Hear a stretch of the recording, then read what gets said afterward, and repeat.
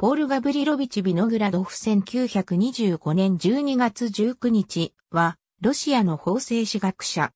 帝政ロシア時代のコストロマに生まれる。1875年にモスクワ大学を卒業後、ベルリン大学に留学、ハインリヒ・ブルンナーやテオドール・モムゼンの下で学ぶ。一旦帰国して母校で教鞭を取るものの、後にイタリアやイギリスに留学して、イギリスではフレデリック・メイトランドらと親交を結んだ。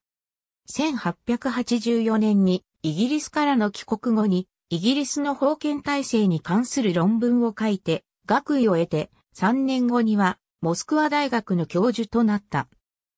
1892年にイギリスで論文集イギリスの霊能性が刊行されたほか、日本語訳された著書としては、イングランドの荘園形成の歴史を論じた、イギリス荘園の成立や中世西欧諸国の慣習法や封建法とローマ法の関係を論じた、中世におけるローマ法、英米法を中心とした一般向けの法学概論である、法における常識、法学研究論を論じた、権利と慣習などがある。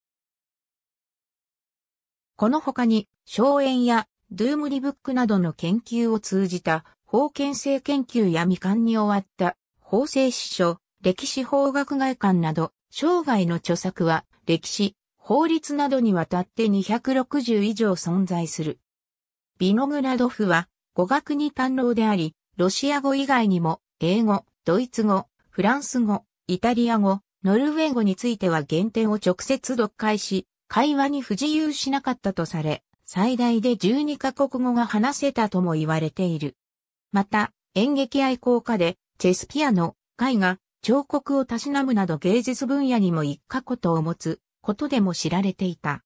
だが、その人生は決して安定したものではなかった。モスクワ大学において、大学の自治と学問の自由を擁護する立場に立ち、1897年には、モスクワ市の市議会議員にも選ばれたビノグラドフは、次第に政府と対立するようになった。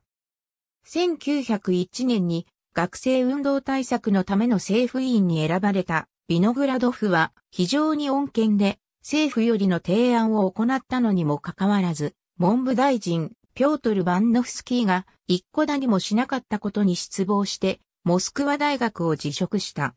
モスクワ市民はこれに憤慨して市当局の圧力にもかかわらずビノグラドフとの別れを惜しんで駅に集まったと言われている。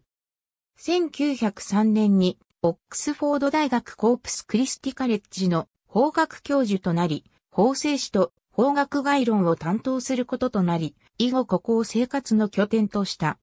ただし、ロシア政府との関係は徐々に回復しつつあった。地の日曜日事件後に首相となったピョートル・ストルイピンは、ピノグラドフに帰国して、文部大臣に就任するように求めた。交渉は途中までうまくいったものの、教授の任用資格をめぐる問題が政府の反ユダヤ主義批判に発展したために交渉はもつれて失敗に終わった。1908年には定員外教授として再びモスクワ大学で講座を持つこととなった。ところが、やがて再び反動政策が行われ始めた1911年、ピノグラドフは講義中の教室に警察のスパイが潜入しているのを発見すると、憤慨して講義を放棄することで講義の姿勢を示し、間もなくアレクサンドル・マヌイロフ総長と共に辞任した。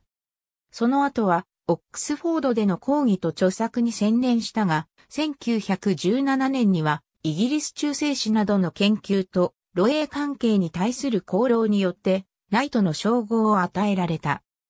だが、イギリスの学会内では、ビノグラドフがアングロサクソン人の共同体を過大評価して、ノルマンコンクエスト以後のノルマン人によるイングランド支配体制の確立を形式的あるいは過小評価しているとする批判が出されるようになった。ビノグラドフにとって最も大きな衝撃となったのは1917年のロシア革命であった。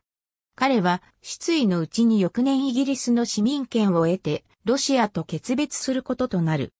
1925年、ソルボンヌ大学での名誉学位授与のために、パリ滞在中に肺炎を悪化させ、71歳の生涯を閉じた。ありがとうございます。